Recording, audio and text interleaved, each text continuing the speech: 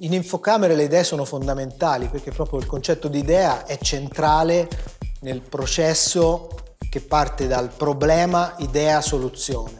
Stiamo cercando di creare un ambiente che favorisca la nascita delle idee e quindi un ambiente che ha bisogno di comunicazione, che ha bisogno di circolarità, che ha bisogno di passare da un'azienda tradizionale, gerarchica, ad un'azienda circolare dove la parola chiave è il team, il gruppo, la squadra.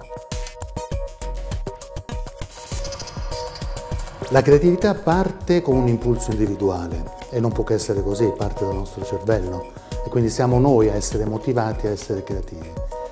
Ma proprio perché il nostro cervello si connette abbiamo bisogno di connessioni esterne, cioè dobbiamo confrontarci con gli altri ed ecco che in questo punto la creatività diventa collettiva la capacità di individui di essere sintonizzati sulla stessa lunghezza d'onda, quindi avere le stesse pulsioni, avere gli stessi obiettivi, le stesse necessità. Ecco che a questo punto è come se parlassimo di un cervello collettivo. Per noi questo è un concetto molto familiare perché siamo partiti proprio con l'interconnessione nevralgica nel paese, no? il collegamento fisico di tutte le camere di commercio e delle loro sedi.